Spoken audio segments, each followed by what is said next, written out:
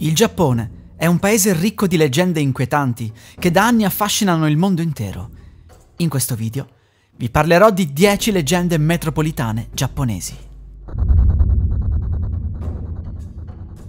Tutti conoscono la tavola Ouija, ma non molti sanno che in Giappone è famoso un gioco molto simile.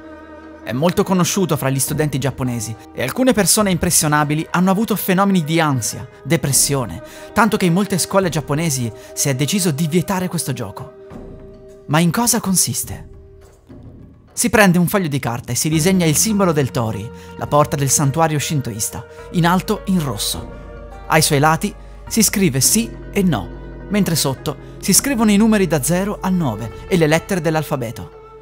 A questo punto si deve aprire una porta o una finestra per permettere allo spirito di Kokuri-san di entrare. Per entrare nel mondo dei vivi, Kokuri-san utilizzerà il simbolo del Tori disegnato sul foglio. Il gioco inizia ufficialmente collocando una moneta sul simbolo del Tori e ogni partecipante dovrà mettere il suo dito su di essa. La formula per evocare lo spirito è Kokuri-san, Kokuri-san, se sei qui, per favore, sposta la moneta. A questo punto si può chiedere a Kokuri-san qualsiasi domanda e lui risponderà utilizzando le lettere del foglio o il sì e il no. Per terminare la seduta bisogna chiedere a Kokuri-san di andarsene e lui dovrà spostare la moneta su sì. Il foglio andrà quindi distrutto o bruciato e la moneta utilizzata andrà spesa.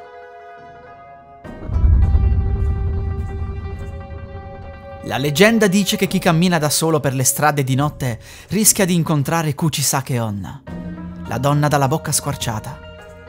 Il suo volto è nascosto da una mascherina e ai passanti ella chiede: Sono bella? Se la persona le risponde di no, lei utilizzerà le forbici per uccidere il malcapitato. Se invece si risponde di sì, Kuchisake Onna si toglierà la mascherina e ripeterà la domanda. Se si risponde ancora di sì, Kuchisake Onna taglierà la bocca della vittima e la renderà simile alla sua. Se invece si risponde di no, la vittima verrà tagliata a metà. In ogni caso, non c'è scampo.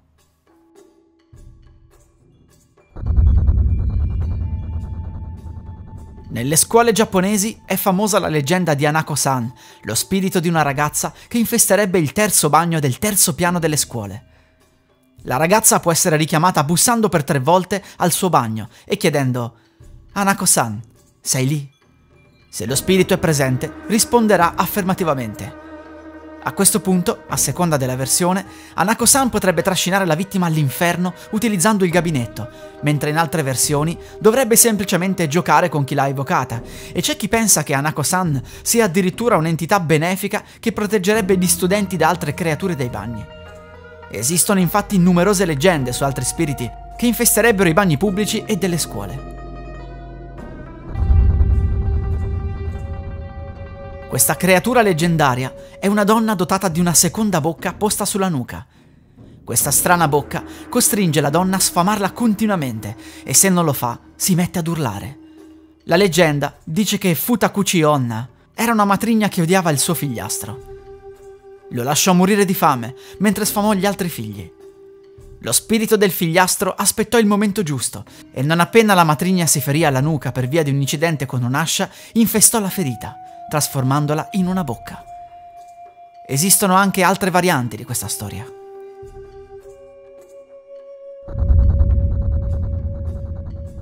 I Rokurokubi sono creature dalla forma di donne, capaci di mimetizzarsi perfettamente nella società. Di notte hanno la capacità di allungare il collo e si divertono a terrorizzare gli esseri umani. In alcuni racconti buddisti si dice che i Rokurokubi erano umani che hanno infranto precetti della religione e sono ora condannati a succhiare il sangue di altre persone che hanno infranto i precetti.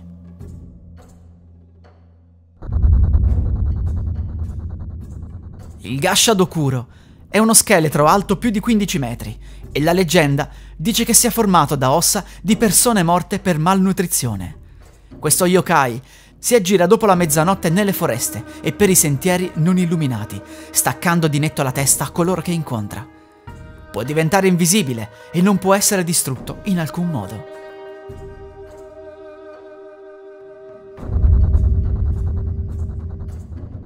Molti giapponesi conoscono la leggenda della donna che morì scivolando nella vasca da bagno. Da questa leggenda è nata una challenge. L'evocazione di Daruma-san prevede di riempire la vasca da bagno e di seguire delle regole specifiche. Dal mattino successivo, la presenza di Daruma-san seguirà l'evocatore ovunque e per vincere la sfida si dovrà usare la mossa di karate che prevede di tagliare l'aria con il braccio dall'alto verso il basso.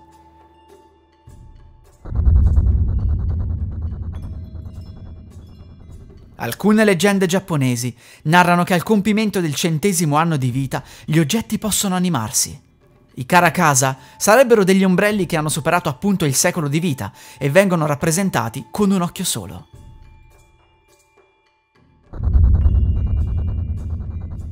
Akaname, letteralmente leccatore di sporcizia, è una creatura che appare nei bagni per leccare lo sporco e la polvere, sfruttando la sua saliva velenosa. Questa storia viene raccontata soprattutto ai bambini, allo scopo di spaventarli, in modo da convincerli a tenere puliti i bagni.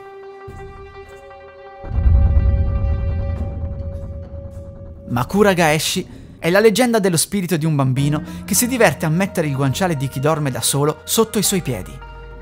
Ma c'è anche chi dice che Makura Gaeshi non si limiterebbe a questo e che sia anche il responsabile delle paralisi del sonno, dello scuotimento improvviso dei letti durante la notte o addirittura che non si limiti a girare il cuscino, ma anche la persona stessa, che si risveglierebbe al contrario nel letto. Questa cosa da piccolo mi è successa spesso, tutto ciò è molto inquietante. Queste erano 10 leggende metropolitane giapponesi.